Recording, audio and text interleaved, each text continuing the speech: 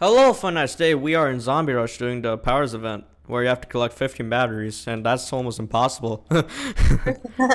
Yeah, very impossible actually. you need batteries to power a generator, and supposedly you get the prize. Bet batteries, huh? Where they are? Hmm. I don't know. I think Zwing is is actually AFK, so rest in peace. That's Oh, the people- batteries collect over time? Oh. What do you okay. mean? Uh, uh, the, the batteries save over rounds, so you don't have to, like, you know, do it in one round. Which I thought Oh, you would have to do. That makes it not hard. Mm-hmm. It's annoying. I found a battery upstairs as well. Okay, the batteries don't seem to glitch. Yay.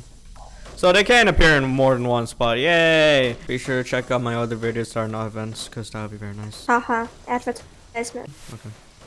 Hashtag self-promotion. There's no batteries up here. There's a battery. But there's an entire Where? horde in there. I'm gonna risk it. okay, I lived. Very nice.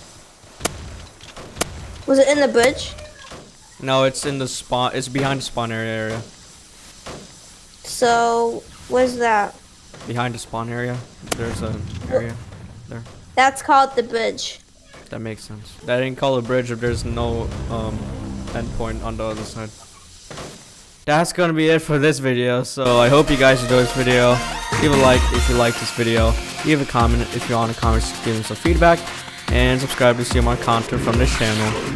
And be sure to share this video with your friends. But otherwise, I'll see you guys in the next video. Goodbye. I sure hope this is the end. Nope.